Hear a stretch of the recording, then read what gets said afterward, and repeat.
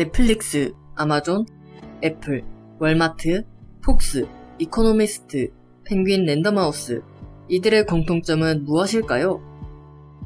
바로 연결입니다. 이들은 각자의 강점을 최대한 발휘할 수 있는 연결 전략을 짰고 덕분에 각 분야에서 세계적인 자리를 유지하고 있습니다. 그렇다면 이들은 구체적으로 무엇을 어떻게 연결했길래 각 분야에서 독보적 위치를 차지할 수 있었을까요? 지금부터 2016년 출간된 콘텐츠의 미래로 궁금증을 풀어나가 보려고 합니다.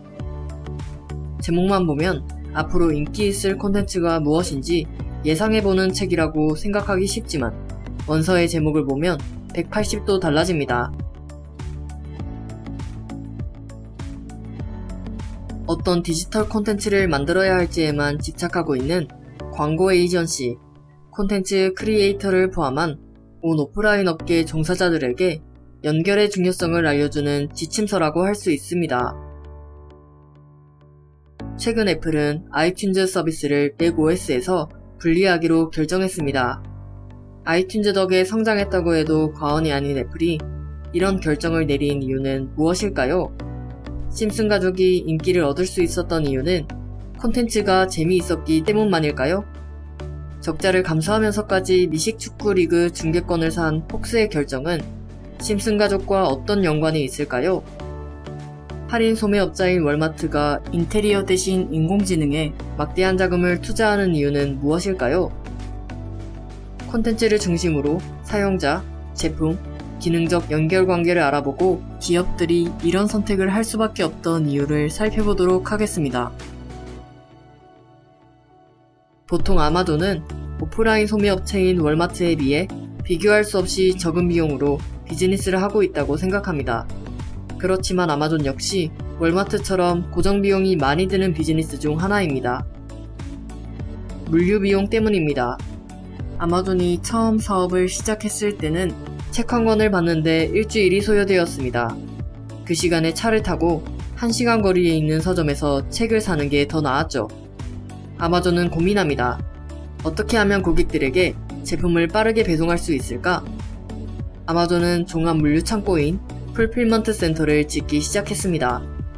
수십억 달러의 금액을 투자한 덕에 이들은 배송 시간을 단축시켰고 더 많은 제품을 판매할 수 있게 되었습니다. 하지만 막대한 창고 건설비를 회수하기엔 주문량이 충분하지 않았고 2002년 아마존은 일반 상인들에게 fulfillment 센터를 개방해 주문량을 늘렸습니다. 늘어난 주문량 덕에 아마존은 고정비용 부담을 낮출 수 있었습니다. 이에 멈추지 않고 아마존은 스트리밍 콘텐츠 시장에 진출합니다. 물건을 팔던 아마존이 왜 콘텐츠 시장에 진입한 것일까요? 이 역시 고정비 부담을 낮추기 위해서였습니다. 헐리우드 영화 제작사에 거금을 지불해야 했지만 아마존은 고객을 유치하기 위한 투자로 생각했으며 실제로도 주문량 및 고객 총 지출이 증가했습니다. 최근 아마존은 수개월 내에 드론 소포 배송, 프라임 에어 서비스를 실시한다고 밝혔습니다. 무인 편의점인 아마존 고도 런칭해 오프라인 분야까지 진출하고 있습니다. 아마존은 드론 배송과 점포 설치를 위해 투자한 비용 역시 늘어날 주문량으로 회수 가능하다는 자신감을 보이고 있습니다.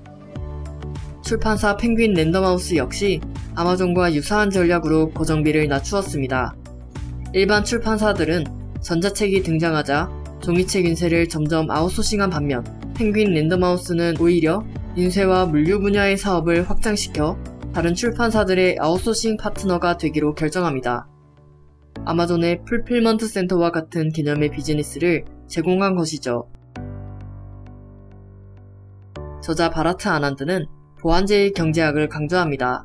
보안제는 자전거와 헬멧, 휴대전화와 충전기, 커피와 와이파이, 프린터와 카트리지처럼 서로 보안 관계에 있는 제품을 의미합니다.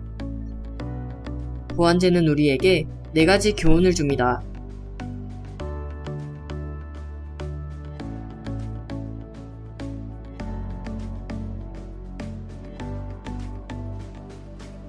그동안 수많은 경영 구루들은 본인의 핵심 역량에 집중하라고 조언해 왔습니다. 그러면서 오랫동안 보안제의 중요성은 간과되어 왔죠. 보안제가 비즈니스의 성공과 실패를 가름하는 열쇠임에도 말입니다. 애플은 사업 초기 음악, TV, 팟캐스트를 함께 이용 가능한 아이튠즈 덕에 아이폰과 아이팟의 판매량을 늘릴 수 있었습니다.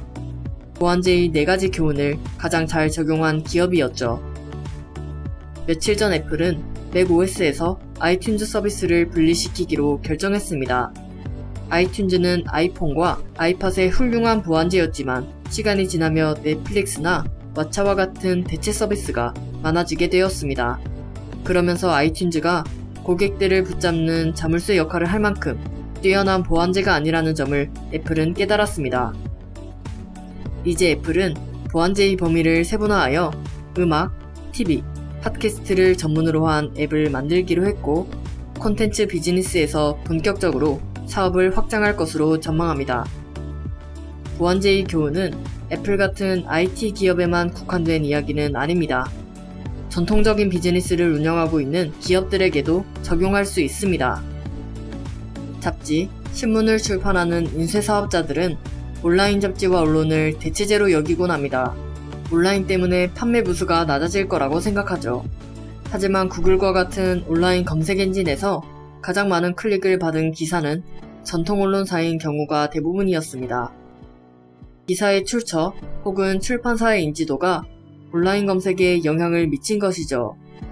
인쇄 매체와 디지털 매체는 상호 보안 관계가 될 수 있긴 하지만 콘텐츠 전략이 똑같다면 서로의 영역을 침범하도록 내버려두는 꼴이 될 수 있습니다. 여기서 전통 인쇄 매체 잡지인 이코노미스트의 전략이 돋보입니다. 이들은 모든 고객들을 만족시키려고 노력하는 디지털 매체와 달리 누구를 대상으로 어떻게 이길 것인지에 대한 명확한 믿음을 가지고 있었습니다. 덕분에 단 90명의 기자들만으로도 영향력 있는 기사를 선보이고 있습니다. 그들은 독자들이 진정 원하는 것은 자극적이고 많은 기사가 아니라 세상을 보는 독특한 관점이 있다고 정의했습니다. 이코노미스트는 모든 사람들이 자신의 잡지를 읽지 않을 것이란 사실을 인지한 덕에 독특한 관점으로 쓸 수 있는 안건을 우선순위로 기고하고 있습니다. 중요한 건 기업의 전략 하나하나가 모순되지 않고 유기적으로 연결되어야 한다는 점입니다. 가격을 낮추는 전략과 개발 비용을 높이자는 전략이 상호 모순되는 것을 예로 들 수 있습니다. 저자 바라트 아난드는 경쟁자들의 전략을 모두 모방한다고 해서 성공을 보장할 수 없다고 강조했습니다. 각자의 강점에 맞는 전략을 세웠기 때문입니다. 새로운 연결 방법으로 성공한 기업들의 사례는 앞으로도 많은 기업들과 개인들에게 좋은 참고 자료가 될 것입니다.